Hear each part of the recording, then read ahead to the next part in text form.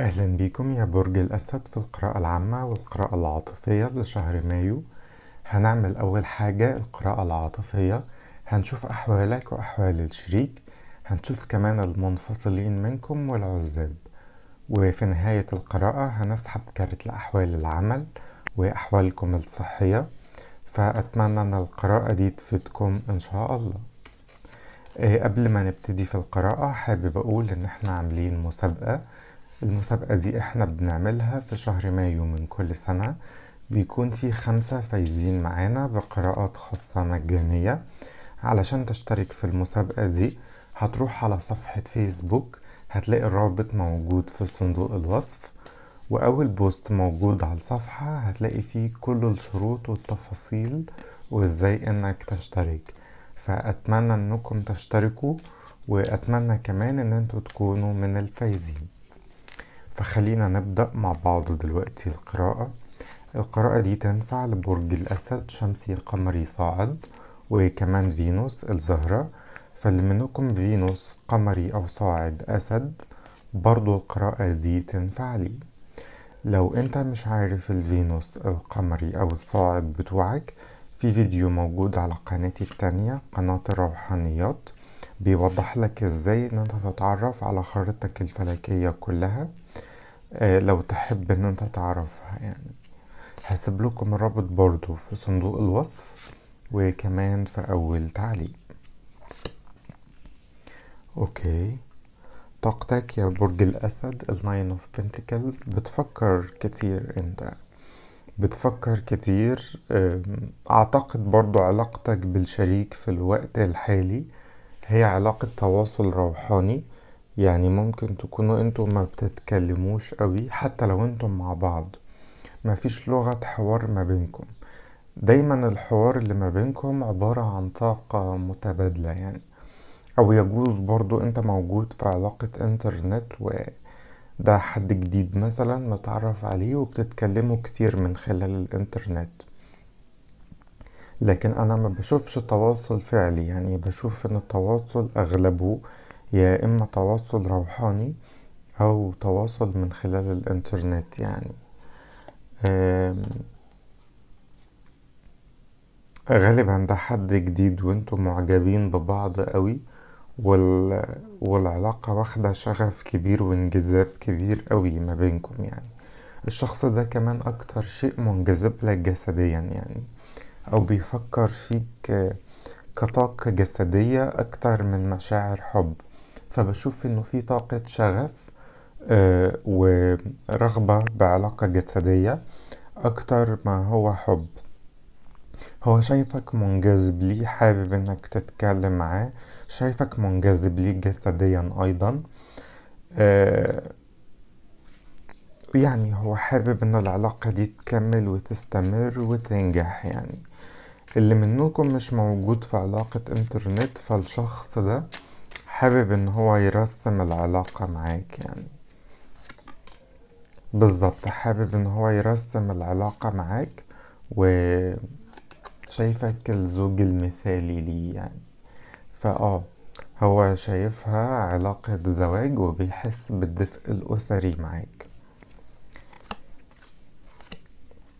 مش هكذب عليك يعني هو بيتواصل مع أشخاص تانيين من خلال الإنترنت لكن هو نواياه إنه لو قدر إن هو يوصل لاتفاق معاك ويقربوا من بعض إن هو يقطع مع الأشخاص التانيين دول.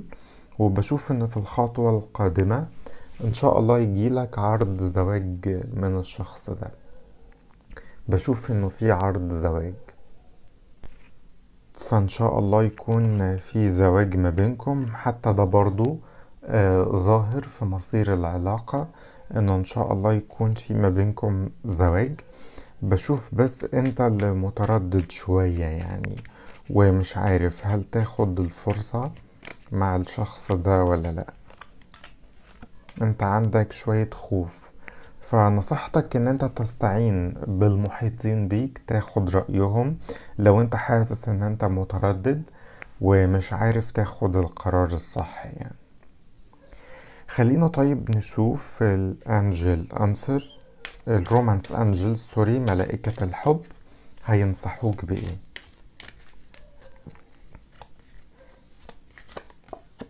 حب جديد. في شخص جديد هيدخل على حياتك للحب والزواج وديسبشن في شخص ما لابس ماسك في العلاقة دي. أنا ما بشوفش ماسكات ولا حاجة. أنت اللي مفكر إن الشخص ده لابس ماسك وعلشان كده انت عندك مخاوف. فمحتاج تقرب من الشخص ده تدرسه أكتر علشان تطمن نفسك. فاهمني؟ لكن أنا بشوفه شخص كويس على كل حال يعني. طيب خلينا نشوف المنفصلين. إيه الأخبار؟ بشوف إن الشخص اللي أنت منفصل عنه ده نادم على فراقك. نادم جدا وبيراقبك. نادم وبيراقب. مش شايف طاقة رجوع قوي لكن شايف طاقة ندم وبكاء يعني. فالموضوع لسه ما وصلش لمرحلة إنه يحب إنه يرجع لكن هو نادم على كل شيء. العزاب بشوف إن في معجب سري لكن مش هيخرج عن صمته خلال الشهر ده. فشوية بالنسبة للمنفصلين والعزاب يعني محتاجين تستنوا شهر كمان مثلا لكن مش ده الوقت المناسب. بالنسبة لأحوالكم في العمل آه، بشوف إنه في عندك عروض عمل يمكن لسفر أو عمل من خلال الإنترنت وهي عروض كويسة جدا وهيكون فيها نجاح كبير بالنسبة لك إن شاء الله يعني. فرص جديدة هتتفتح لو منتظر أموال هتجيلك. بشوف برضو إن هي ممكن تجيلك على دفعات يعني مش هتجيلك مرة واحدة آه، لكن هي هتيجي إن شاء الله يعني. أموركم الصحية تمام. بشوف بس إن أنتم محتاجين تتغذوا بشكل كويس. تعتمدوا في أكلكم على النظام النباتي الخضار والفواكه وتبتعدوا عن الجانك فود يعني. ده اللي أنتم محتاجين تعملوه. طيب خلينا نشوف آه، برضو نصيحة ليكم من الملايكة. نشوف هينصحوكم بإيه. فكر بإيجابية شوية أنت عندك مخاوف فمحتاج إنك تفكر بإيجابية ويطلع لك هنا improving health. طالما طلع لك improving health خلينا ناخد لك كارت من كروت الشاكرات.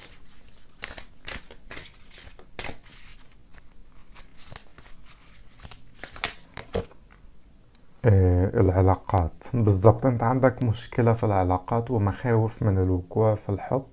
أو إنك تدخل في علاقة فمحتاج شوية تشتغل على شكرة العجز وشكرة الضفيرة الشمسية علشان تتقبل الآخر وتحرر نفسك من مخاوفك. فحاول تش... برضو فيديو الشاكرات موجود على قناتي التانية لو تحبوا إنكم تشوفوه يعني. طيب حط شخص في بالك سواء هو كان نفسه الشخص ده أو أي شخص تاني وخلينا ناخد لك رسالة منه ونشوف هو عايز يقولك إيه. بيقولك إن هو شوية متحير جدا لكن هو هيحاول إنه يرتب أموره ويغربل الاشخاص في حياته علشان يختار الاختيار الصحيح. بيقولك كمان إن هو حاسس بالتواصل الروحاني اللي ما بينك وما بينه وإنه بيبادلك نفس التواصل ده. طيب خلينا أقول لكم الأبراج الموجودة في القراءة في برج الدلو برج الحوت والحمل آه الجدي الجوزاء العقرب الميزان القوس الحمل قلناه والحوت والقوس برضو تاني هو والعقرب والأسد زيكم. وطبعا الطاقات كلها موجودة. ده كان بالنسبة لكم يا برج الأسد. أتمنى أن القراءة دي تكون فادتكم بشكل أو بآخر. فياريت لو عجبتكم القراءة دي تحطوا لنا like تعملوا share تكتبوا لنا تعليق جميل حتى لو بقلب لأن ده بيفيد القناة بشكل كبير. كمان لو ما عجبتكوش القراءة أتمنى برضو أنكم تكتبوا لنا نقدكم البناء في التعليقات. بشكركم طبعا كلكم على حسن المشاهدة. وبتمنى لكم السعادة والحظ الموفق. مع السلامة.